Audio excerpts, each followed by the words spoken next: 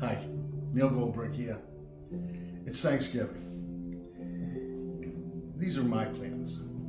My daughter's up in Vermont with uh, celebrating Thanksgiving with her husband's family.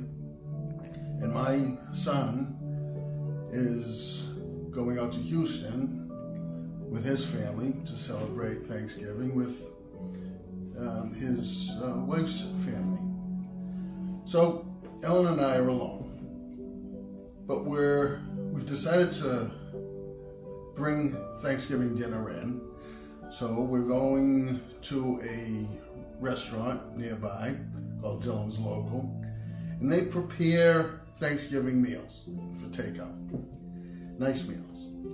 So we're going to bring in Thanksgiving meals, and we're going to light a fire, and we're going to watch some football drink Bloody Marys.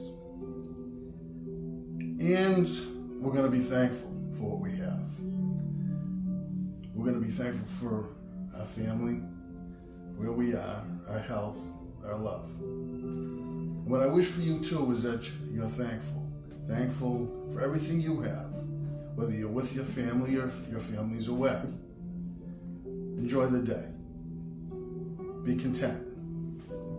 Most of all, be kind to each other.